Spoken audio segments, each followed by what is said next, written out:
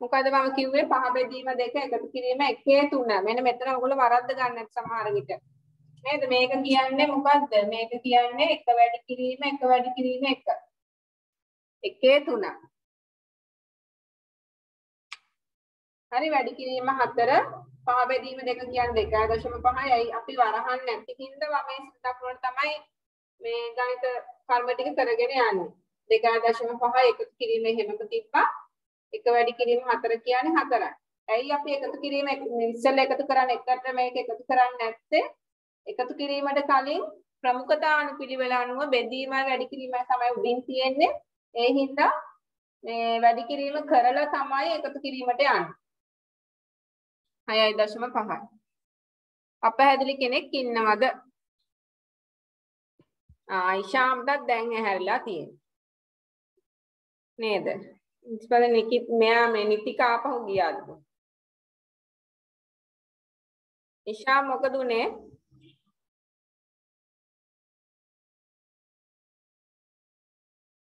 අපි 9ටනේ පටන් ගන්නවා කිව්වේ.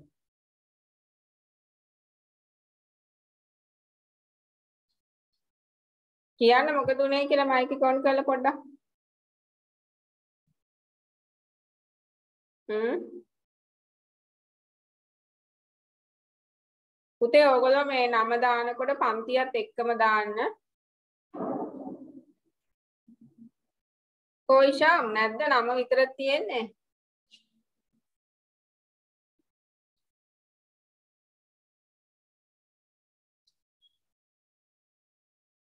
ඈෂා. හරි ඊළඟ ප්‍රශ්නේ මොකද්ද? හරිද උත්තරේ 14ට මොකද්ද ආවේ පුතේ 3ද? මට ආවේ 3. ඔයගොල්ලන්ට වෙනස් උත්තරයක්ද ආවේ කියන්න බලන්න. නැහැ ටීචර් 3මයි ආවේ. හරි 14 ප්‍රශ්නයක් තියෙනවද? ඒක ලේසියිනේ නේද? ඒක වරහන ඉස්සෙල්ලා සුළු කරන්නේ 6යි. 4 2යි 6යි. ඊට පස්සේ මෙතන දැන් ආයි වරහනක් ඕනේ නැහැ. ඊට පස්සේ මොකද වෙන්නේ? වමේ සිට දකුණට මේ ක්‍රියාත්මක වෙනවා. එතකොට 6 වරක් 3 18යි බෙදීම 9 එහෙමම ලිව්වා ඒක කිරීම එක. 18 බෙදීම 9 කියන්නේ 2යි 2යි 1යි 3යි. ගැටලුවක් තියනවද?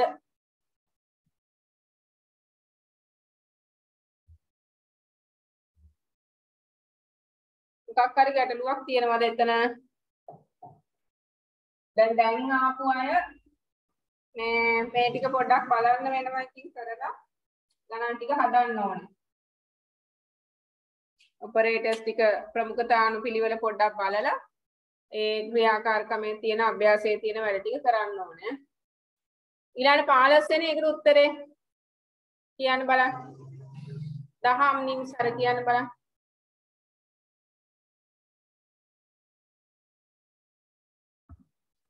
සඳිත් එව්ව උත්තරයක්. දහම්ට ආවේ කීයද?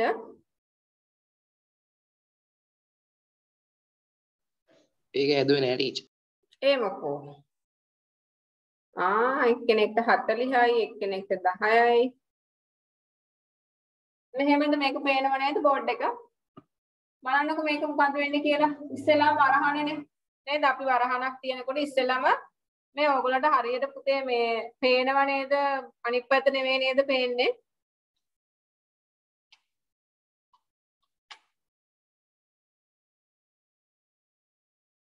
කියන්නකෝ.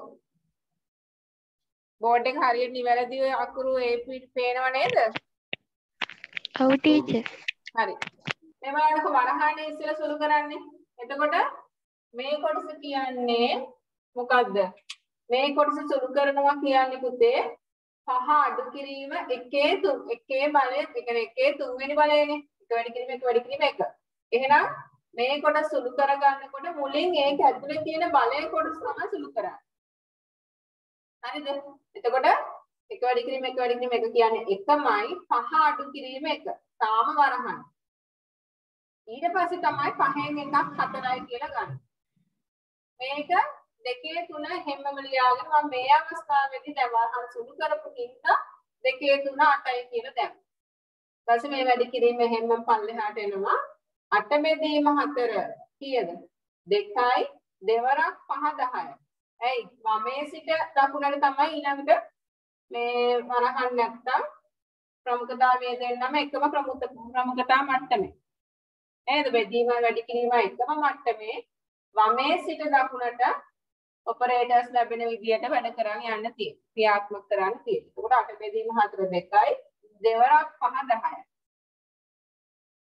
පැහැදිලි වුණාද?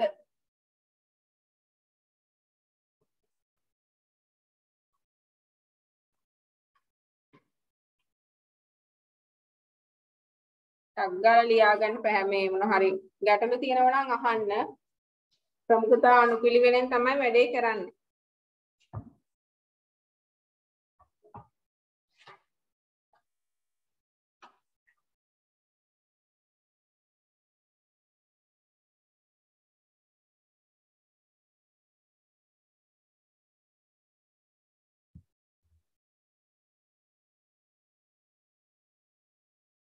අග්‍රා දැන් එයාට තේරුණාද පුතේ අග්‍රාණි තේරුණාද අග්‍රාණි හරි නේද මම නම කියනවා ඔව් ටීචර් හරි හරිනේ ප්‍රශ්නයක් නෑනේ දැන් නේද නැවත ওই ටික හදන්න පුතේ ওই ටිකයි අනෙක් කොටස් ටිකයි නැවත හදලා ඒ ටික හොඳටම පුළුවන් කරගන්න ඕන මොකද අනිවාර්යෙන් කෙටි ප්‍රශ්න වලටත් එනවා මේ එක්සෙල් ප්‍රශ්නටත් කැලලක් දාන්න පුළුවන්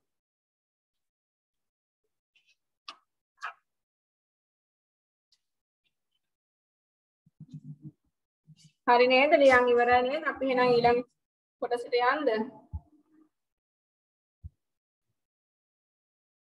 හරි ඔන්න එහෙනම් ගණන් 15ක් තියෙනවා. හදපු ටිකක් නැවත හදන්න. ඒ කියන්නේ කොලේ එක හරි නැවත හදන්න. අනිත් ඔක්කොම ටික හදන්න. ඊළඟ දවසේ මම උත්තර ටික අහනවා නම් කියලා. හරි ඔන්න ඊට පස්සේ අපිට තියෙන සූත්‍ර මේ ඒවනම් අපි ටිකක් කරානේ. නේද? අපි Excel වල වැඩ කරද්දී මේ කරා නේද වැඩි කිරීම ඒ වගේ සූත්‍ර දාලා ගණන් හැදුවද අපි මට මතක නෑ. 9ටත් Excel නේ කරන්නේ. කරාද පුතේ?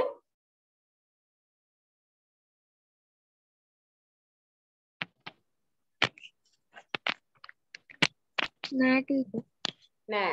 හරි දැන් මෙහෙමයි. දැන් ඔය ඔපරේටර්ස් පාවිච්චි කරලා දැන් මේ උදාහරණය පොඩ්ඩක් බලමුකෝ. දැන් මේක ඉතින් ප්‍රැක්ටිකල් කොටසක් මම චුට්ටක් කියලා දෙන්නම්. පුළුවන් අය ගෙදරදී හරි කරන්න. ඊට පස්සේ අපි මෙහි ස්කෝල්දි කරන්න බලමු.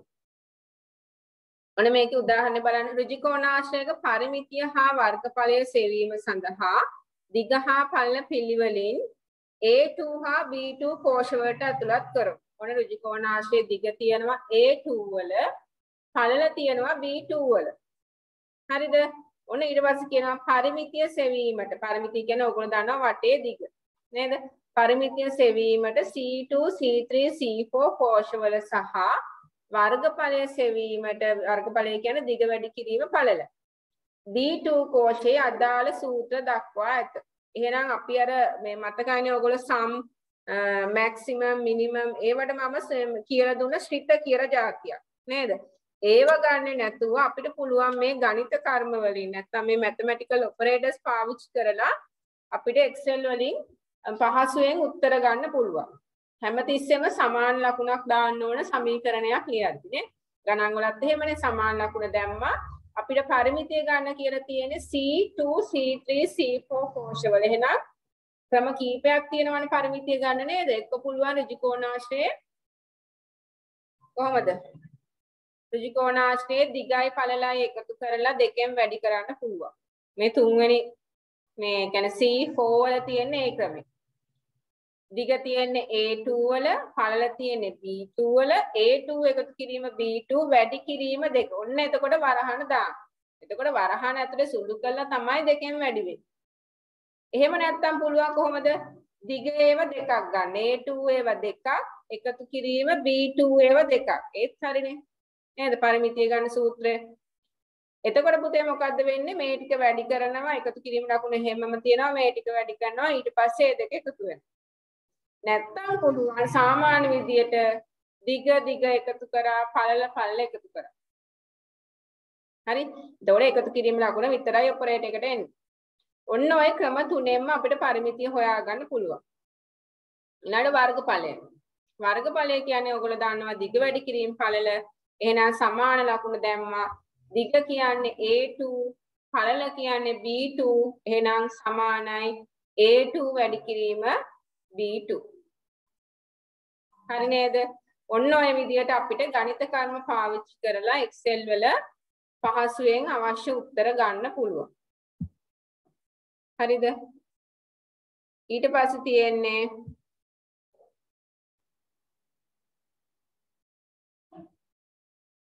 මේ ෆෝමැට් කරන ටිකක් තියෙනවා ඒ ටික නම් ප්‍රැක්ටිකල් ටිකක් නේ අපිට කරන්න තියෙන්නේ.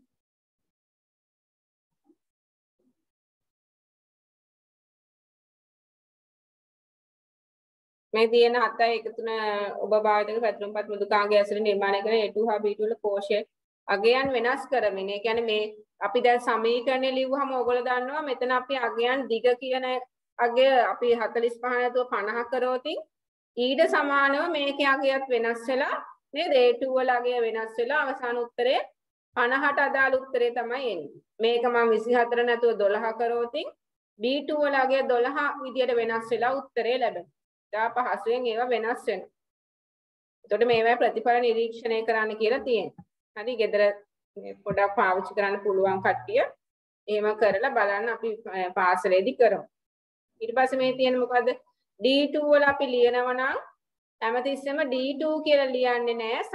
සමාන ලකුණෙන් තමයි සමීකරණේ පටන් ගන්න කියන එක ඒක ඔයගොල්ලෝ දන්නවා. සූත්‍රය නිවැරදිව ලියන්න. මෙන්න මේක බලන්න පොද්දක මිල සහ පැන්සලක මිල දී ඇති විට මෙන්න මේ වැඩපතේ සූත්‍ර බලන්න ඕන පොතේ මිල 48යි තියෙන්නේ B1 වල පොතේ මිල. පැන්සලක මිල 12යි තියෙන්නේ B2 වල.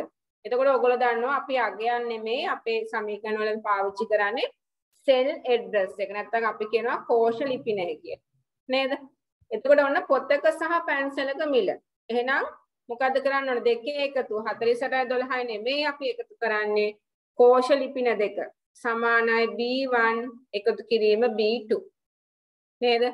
ආ එහෙනම් ඒකට උත්තරේ ලැබෙනවා. පොතක සහ පැන්සලක මිල අතර වෙනස.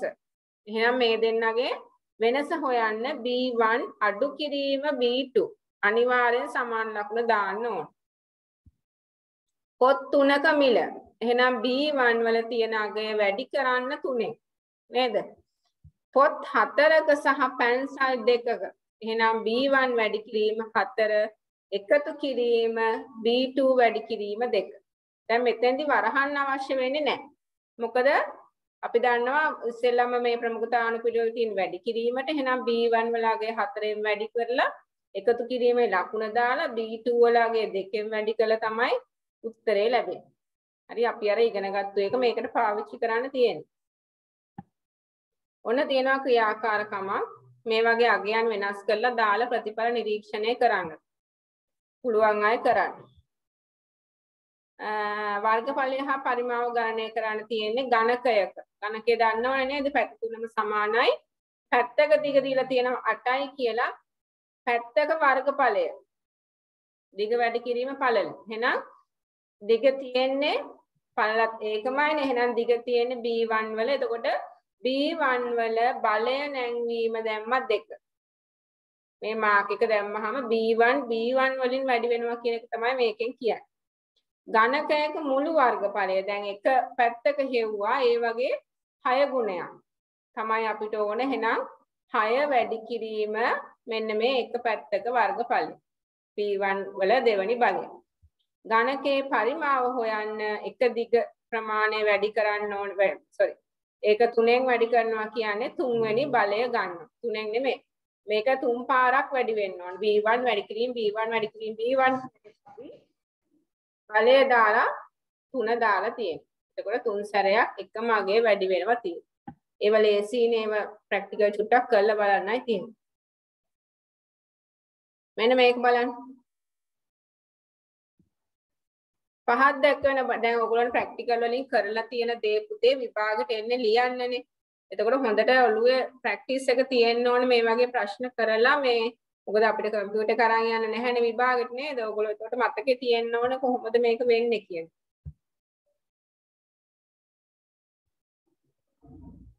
හරි ඔන්න පළවෙනි එක තියෙනවා සමානයි A1 එකතු කිරීම B1. ඒ කියන්නේ මෙන්න මේ දෙන්න නේද? A1 උයි A1 උයි B1 උයි. ඒ කියන්නේ මෙන්න මේ දෙන්නනේ. ඔන්න ඔය දෙන්න. ඒ කියන්නේ 7යි 5යි 12යි. නේ ප්‍රතිඵලය. ඊළඟට දැන් ඔයගොල්ලන්ට තියෙන්නේ ඇත්තට මේක Excel sheet එකේ type කරලා ඉවර වෙලා මේක කොයි හරි ඉඳ තියෙන ස්පේස් එක තියෙන තැනක type කරගෙන මේ සමීකරණ ටික උත්තර ටික හොයන්න තියෙන්නේ. නේද? වගුව. ආ නෑ නෑ නෑ නෑ ඔයගොල්ලන්ට මේ වැඩපත වල අධ්‍යයනය කරමින් මම මේක මේ ටයිප් කරලා ගන්න නෙමෙයි ඔයගොල්ලන්ට මේ මේ ගණිත කර්මත් එක්ක මේ බලලා උත්තරේ දාන්න තියෙන්නේ. තීරුවේ සටහන් කරන්න තියෙන්නේ. C1 එකතු කිරීම C2 එකතු කිරීම C3 කියන්නේ මෙන්න මේ ටික. නේද? මෙන්න මේ පල්ලෙහාටනේ. ඔන්න ඔය තුන කියන්නේ ඔය තුනේ එකතු. එතකොට 9යි 4යි 13යි 4යි 17යි. ඊට පස්සේ B2 එකතු කිරීම C3 එකතු කිරීම B3. ඒ කියන්නේ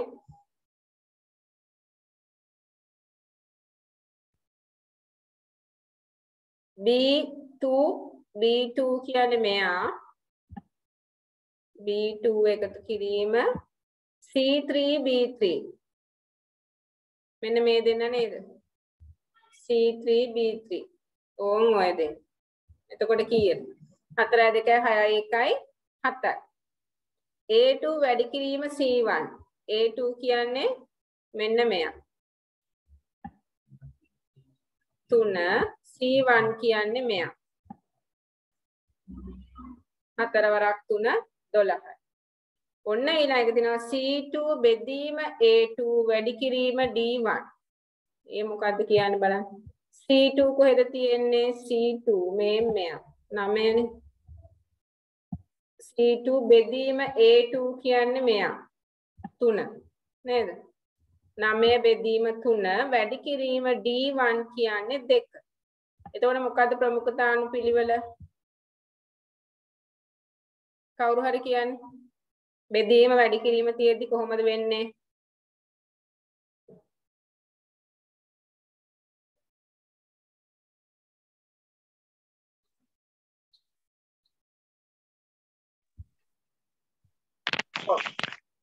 ඉස්සෙල්ලාම් බෙදනවා ඔව් ඉස්සෙල්ලාම පුතේ බෙදීම නේද? වරහණක් නැත්නම් අපි කිව්ව ප්‍රමුඛතානුපිළිවෙල එන්නේ වමේ සිට ලැබෙන ගණිත කර්මය තමයි ඉස්සෙල්ලා කරන්නේ බෙදීම වැඩි කිරීම එක මේ සමස්ථාන ප්‍රමුඛතාවයන් තියෙන ඔපරේටර්ස් වල. එහෙනම් C2 බෙදීම A2 කියන්නේ C2 කියන්නේ 9යි A2 කියන්නේ 3යි 9 බෙදීම 3 3යි.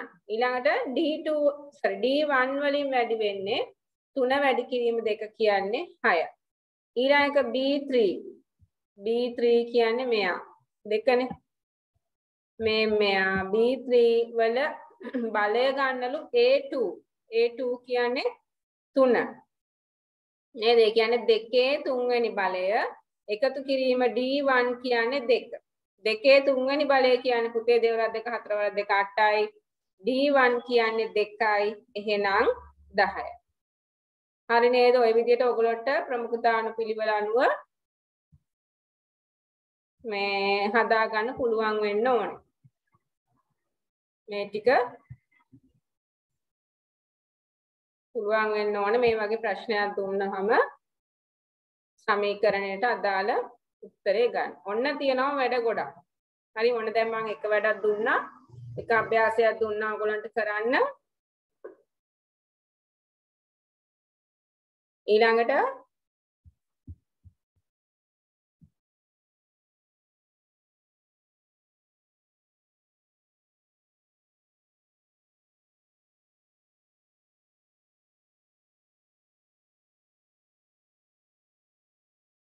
එතකොට පුතේ මේ 213 පිටුවේ මේ අභ්‍යාසෙත් ඔයගොල්ලෝ කරන්න ඕනේ. මේ අර කලින් එකේ ගණන් 15යි මේකේ ගණන් ටිකක් කරන්න. ඔන්න ඊට පස්සේ අපි කතා කරපු ශ්‍රිත ගැන. ගණනය කිරීම සඳහා ශ්‍රිත භාවිතය. නේද? ඔයගොල්ලෝ මේ ටික දන්නවා දැන්. එකතු කිරීමට සාමාන්‍ය අගය ගන්න, මැක්සිමම් එක උපරිම අගය ගන්න, අවම අගය ගන්න. ඊටාම කුඩා ප්‍රමාණයක් තමයි ඇත්තටම ශ්‍රිත නැත්තම් ගොඩාක් තියෙනවා. ඔයගොල්ලන්ගේ සිලබස් එකේ තියෙන්නේ පොඩ්ඩයි. ඒකට ওই ටික හොඳට මතක තියෙන්න ඕනේ. ඒ අනිවාර්යෙන් ශ්‍රිතයක් දාද්දී අර සමීකරණය වගේම අපි සමාන ලකුණෙන් තමයි පටන් ගන්නෙ. ශ්‍රිතය ලිව්වා නේද? ෆන්ක්ෂන් එක කියලා අපි ඉංග්‍රීසි වලින් කියන්නේ. ෆන්ක්ෂන් එක ලිව්වා වරහන දැම්මා. පරාසය. කොතන ඉඳන් කොතෙන්ටද මේකට අගයන් ගන්න? කෝෂ පරාසය තමයි අපි පාවිච්චි කරන්නේ. එතකොට මේ ටික හොඳට මතක තියාගන්න ඕනේ මේ ශිත පහයිනේ තියෙන්නේ. ඒ ටික අනිවාර්යෙන් හොඳට මතක තියාගන්න ඕනේ. මේ ටික පොඩ්ඩක් කියව ගන්න. ඊට පස්සේ අපි බලමු. මෙන්න මේ විදිහේ ඒවත් එන්න පුළුවන්. ඒ කියන්නේ කෙලින්ම අපි පරාසය මේ එකපාරට ලියන්න නැතුව අපිට සමහර වෙලාවට වෙන්න පුළුවන්. මෙන්න මේ වගේ. දැන් මේකේ තියෙනවා sum a1, b1, c1 එතකොට පුතේ කමා දාලත් අපිට අදාළ කෝෂ ලිපිනය විතරක් ලියන්නත් පුළුවන්. A1 b1 c1 ඕන නම් අපිට ඒක එක පරාසයකට ගන්න බැරි නම් අපිට කමා දාලා ලියන්නත් පුළුවන්. A1, b1, c1 හරිද? එතකොට මේකේ උත්තරේ බැලුවතින් ඔයගොල්ලන්ට පේනවා වගුවත් එක්ක බැලුවාම මෙන්න මේ වගුව. A1 b1 c1 කියන්නේ 6යි 2යි 8යි 8යි 4යි 12යි ඒ තුනේ එකතු වෙන්නේ. එතකොට a1 to c1 කියන පරාසය ඩබල් ඩොට් දාලා ලියන්නේ නැතුව වෙන වෙනම කමා දාලා කෝෂ ලිපින වලින් ලියන්නත් පුළුවන් කියලා මතක තියාගන්න. ඒ උත්තරේම එනවා. ඊළඟ මේ අපි මේ පරාස විදියට ලිව්වොත් මෙහෙම. a1 double dot c1. ඊළඟට තියෙනවා a1 double dot c1 මේ පරාසය ලියලා කමා දාලා b2 ඒ කියන්නේ මේකට තව එකතු වෙන්න ඕනේ b2 වල අගය. අපි බලමු A1 C1 ලිව්වා. ඒ කියන්නේ 6යි 2යි 8යි 4යි 12යි සහ B2 12යි මෙන්න මේ තුන. නේද? B2 වල තියෙන තුනේ ඉලක්කම. එහෙනම් ඔය තුනත් අර පරාසය අගයන් වලට එකතු වෙන්න ඕනේ 12යි 3යි 15යි ඒ විදිහට එන්නේ. ඊට පස්සේ සමානයි සම් B1 to C2 එහෙනම් B1 ඉඳලා C2 දක්වාම කෝෂ පරාසය. බලන්න වෙනවද කියලා B1 ඉඳලා C2 වෙනකම් කියන්නේ? මෙන්න මෙතන ඉඳලා B1 ඉඳලා C2 එතකොට මේ ටික ඔක්කොම නේද? මම පොඩ්ඩක් ඔයගොල්ලන්ට මාක් කරලා පෙන්නන්නම්කෝ. මෙන්න මේ ටික. B1 ඉඳලා පුතේ මේ ටික ඔක්කොම අයිති. B1 ඉඳලා C2 ඔන්න ඔය ටික. ඒ කියන්නේ 6යි 4යි 10යි ඒක හරියට ඇඳුන්නේ නැහැ.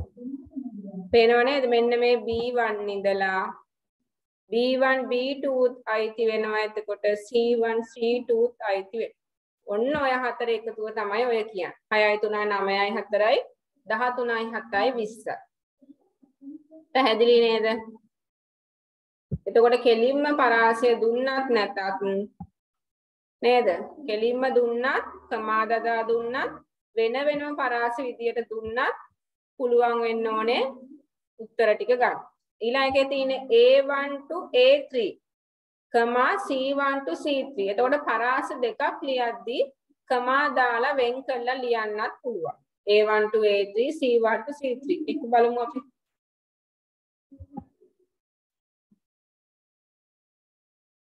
A1 to A3. එතකොට මෙන්න මේ කොටස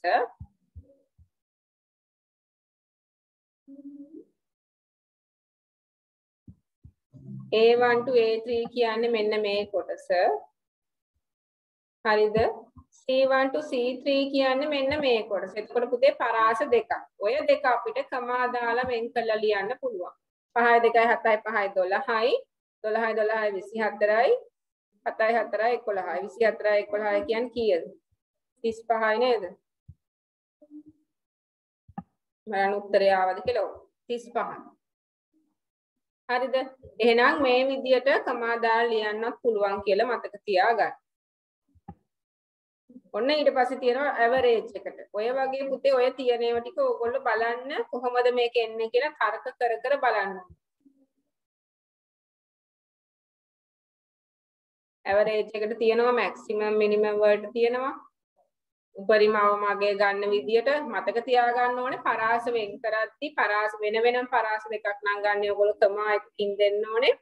ඊළඟ වෙන වෙනම කෝෂ ලිපින ලියනවා නම් කමා දදා වෙන වෙනම ලියන්න. මිනිමම් කියන්නේ අවමගය ගන්න විදිය. ඔය ටික හොඳට තර්ක කර කර බලන්න. ඕන කවුන්ට් කවුන්ට් කියන්නේ අපිට සංඛ්‍යාත්මකව ගණනය කරගන්න පුළුවන් කොච්චරක් ප්‍රමාණයක්ද කියලා. මේ count A1, B1.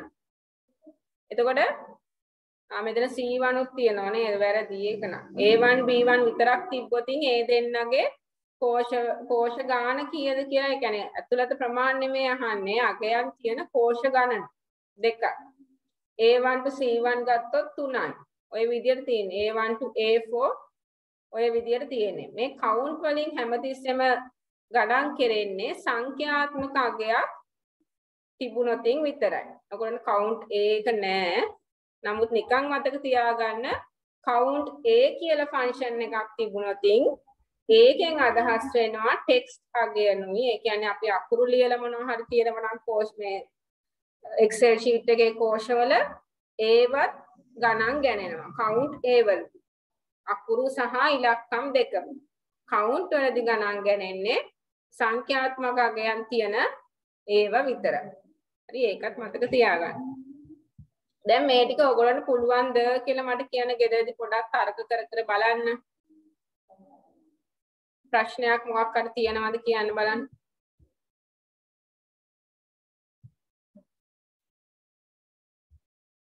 මොකක් හරි ගැටලුවක් තියෙනවද?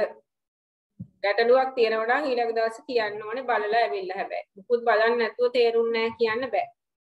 හරිද?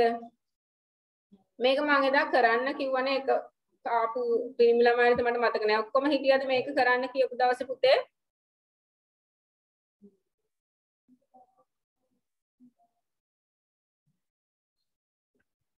කෝ උත්තර දෙන්නේ නෑනේ. මේ ප්‍රශ්න කිව්වා නේද මම එක ඔව් කියන්න. ඕක. කරන්න කිව් හැමෝම කිව්වා එන නේද? දවසේ. ඔව් එතකොට මේකේ උත්තර ටික දැන් තියෙනවද අත්තේ?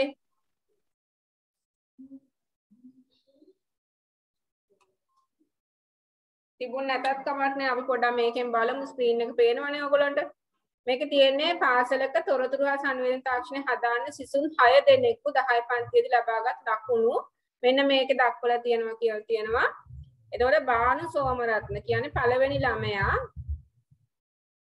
පළවෙනි ළමයා අ, මොකද්ද කියන්නේ? එයාගේ ලකුණු වල එකතුව. නේද? F2 කෝෂයට ඇතුළත් කළ යුතු සූත්‍රය අහන්න. ලකුණු වල එකතුව ගන්න F2 වලට. එහෙනම් අපි බලමු.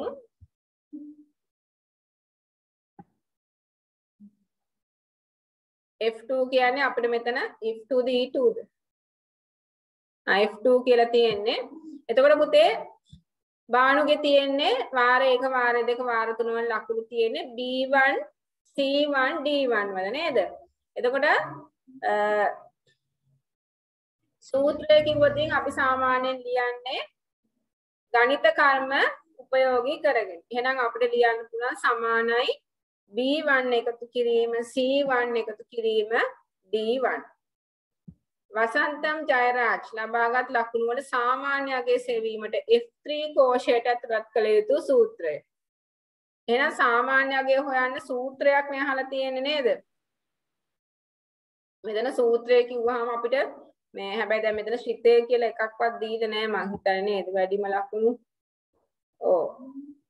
සාමාන්‍යයෙන් නම් අපි සූත්‍රය කිව්වහම ගොඩක් වෙලාවට ආ මේක දෙන් තියලා තියෙන්නේ හ්ම්, සූත්‍රය කියන්නේ මේ මේ මේකත් එක්ක හින්දා ශ්‍රිතය කියලා තමයි අපි මින් ශ්‍රිතය එහෙම තමයි පාවිච්චි කරන්නේ. විනාඩි 10කින් කට් වෙනවා කියලා තියෙන පුතේ මේ ලොගින් වෙන්න තව චුට්ටක් හොඳේ කට් වුණොතින් හරි ඔන්න බලන්නකෝ. එතකොට අපිට මෙතන ලියන්න වෙන්නේ සාමාන්‍ය අගය ලබා ගන්න සූත්‍රය කිව්වොතින් ඇවරේජ් එකෙන් ලිව්වොත් ලියන්නේ අ, සමානයි. වසන්තම් රජයරාජ් නේද? එතකොට සමානයි ඇවරේජ් මම ලියලා පෙන්නන්නද ඔයගොල්ලන්ට ලියලා ඇත්තේ නේද කොහමද අපි ලියන්නේ සමාන ලකුණු දැම්මා ටීචර් ඔව් පළවෙනි එකට උත්තරේ මොකද්ද? පළවෙනි එකට F2 කෝෂ ඇතුළත් කළ යුතු සූත්‍රයනේ. එතකොට මේ අර සමීකරණය කියලා නෑ. නමුත් සූත්‍රය කියලා තියෙනකොට අපිට දෙකම ලියන්න පුළුවන්. දැන් ශික්ෂ කිව්වොත් නම් අනිවාර්යෙන් පුතේ සම් එක ලියන්න ඕනේ. තේරුණාද මං කියන එක ශ්‍රිතේ කිව්වොත් අනිවාර්යෙන් සම්- සමානයි සම් කියලා එහෙම ලියන්න ඕනේ. ඒ කියන්නේ සම් කියලා වරහන ඇරලා ආ මේකේ වරහන මගේ එකේ පොඩි අප්සෙට් එකක් තියෙනවා වරහනක් දාන්න ඕනේ. මේකෙන් ලියන්න වරහන ඇරලා අර රවුම් වරහන දාන්න ඕනේ කොටු එක නෙමෙයි වරහන ඇරියා. ඊළඟට මොකද්ද ලියන්නේ අපි? කෝෂ ලිපින ටික. ඒ කියන්නේ B sorry B2 ඉඳන් D2 වෙනකම්. නේද? එකතුව ලියන්නේ අපි.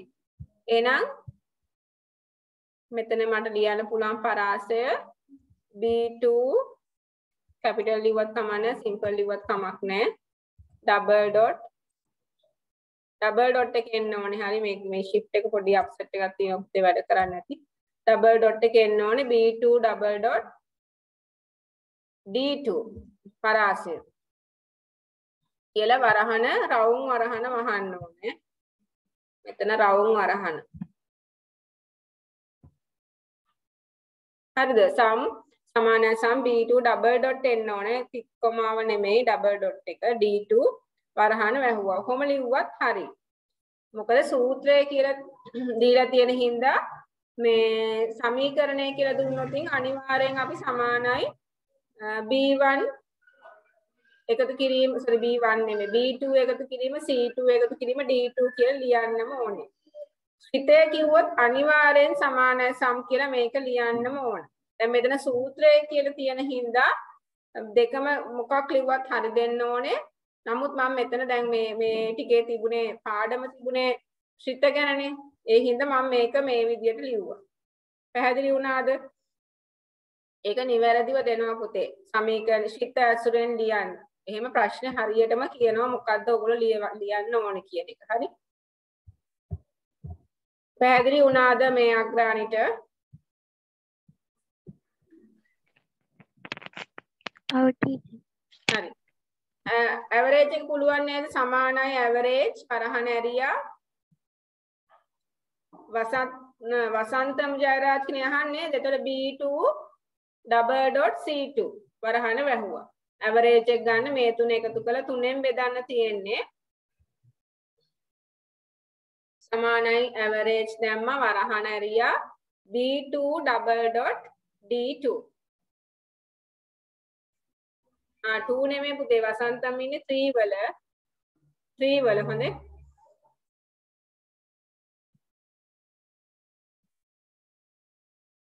හරි නේද?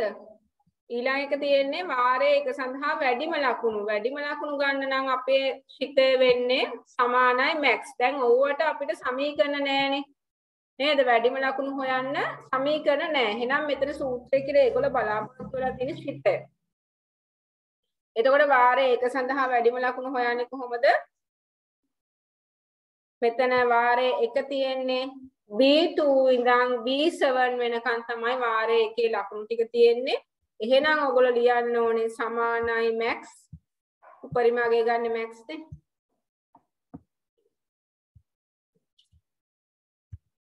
max max හොඳේ වරහන ඇරියා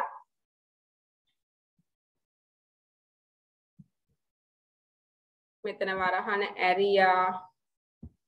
B2 double dot B7 B2 ඉඳන් තමයි ලකුණු තියෙන්නේ.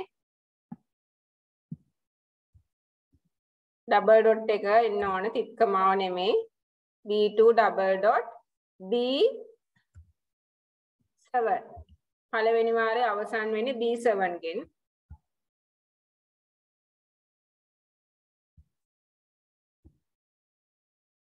ඊළාට වරහන වහන්. මෙතන තිත් දෙක එන්න ඕන. හරි නේද? ඔන්න වැඩිම ලකුණු ගත්තේ එහෙමයි. ඊළඟ එක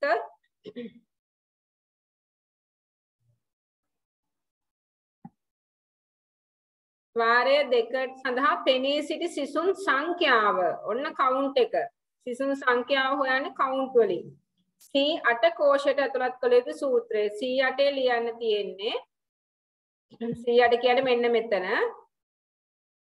සංඛ්‍යාව හොයන්නේ කොහොමද? count. එහෙනම් අපි සමාන ලකුණ දැම්මා.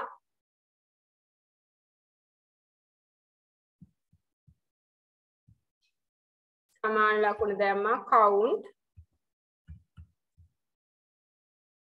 පෙනී සිටි සංඛ්‍යාව. එහෙනම් මෙන්න මේ ටික ඒ කියන්නේ B2 sorry C2 ඉඳන් වාරය දෙකනේ.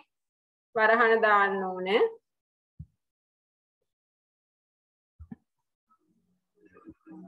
වරහන දාලා C2 double dot C7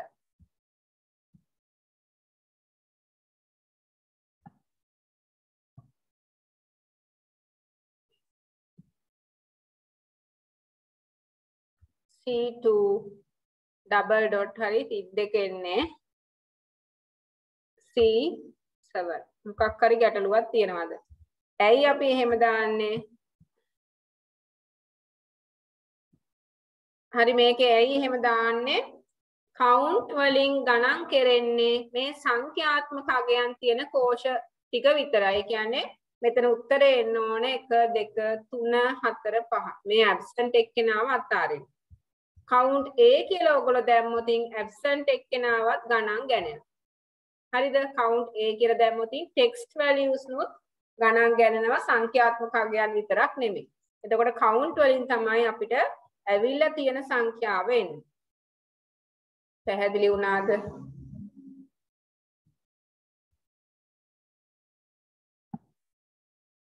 ඊළඟ එක වාරය තුන සඳහා ලබා ඇති අඩුම ලකුණු සංඛ්‍යාව සෙවීමට D8 කෝෂයට ඇතුළත් කර අඩුම ලකුණු සංඛ්‍යාව හොයන්නේ මිනිමම් නේද? එහෙනම් මිනිමම් කියලා ලිව්වා. වාරය තුනේ තියෙන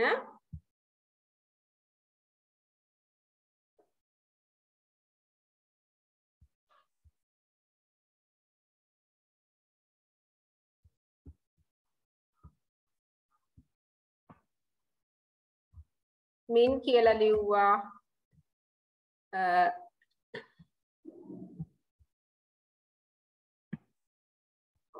වරහන D3 sorry D2 to D7 minimum අගය D2 to D7 දැන් කට් වුණොත් නැවත චුට්ටක් එන්න පුතේ පණවිඩ ටිකක් තියෙනවා ඒ ටික කියලා නවත්තන්න පුළුවන්.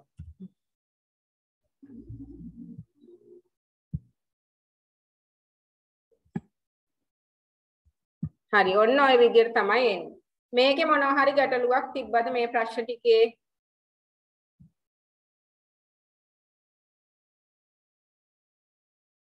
හරි සඳිත් දාලා තියෙනවා මේ උත්තර හරි. ඒක කරන්න පුළුවන් ඒක ගැටලුවක් නෑනේ. නේද? නැවත ඕගොල්ලෝ කරන්න මේවා.